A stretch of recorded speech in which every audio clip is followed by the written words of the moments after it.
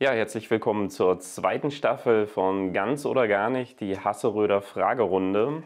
Äh, heute bei uns zu Gast ist unser Neuzugang Maximilian Ullmann. Grüß dich, Max. Hallo. Wir stellen dir heute ein paar Fragen. Da geht es um Entweder-Oder-Fragen oder auch offene Fragen, um dich ein bisschen besser kennenlernen zu können. Die erste Frage: Wie hat es sich angefühlt, für Österreich zu spielen? Es war natürlich eine tolle Sache. Ähm, es hat mich mit Ehre und Stolz erfüllt ähm, und ja, ich bin sehr dankbar, dass ich das äh, erleben durfte.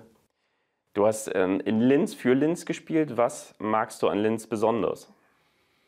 Puh, schon eine schwierige Frage gleich zum Anfang. was ich besonders mag, ist, ja, denke ich, die Stadt an sich.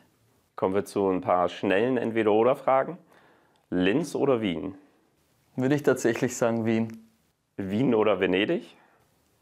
Bleibe ich auch bei Wien. Venedig oder Magdeburg? Magdeburg. Sehr gute Antwort.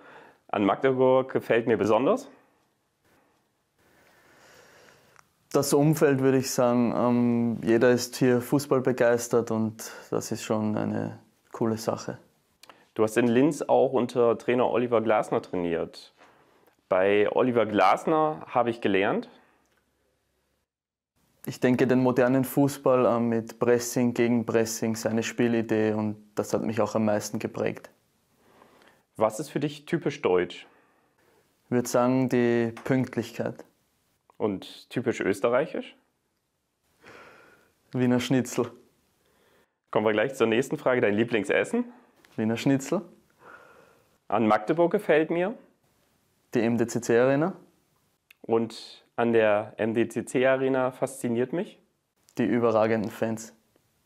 Wunderbar, Max. Das war's schon. Ich danke dir vielmals und wünsche dir natürlich viel, viel Erfolg hier bei uns beim FCM. Dankeschön.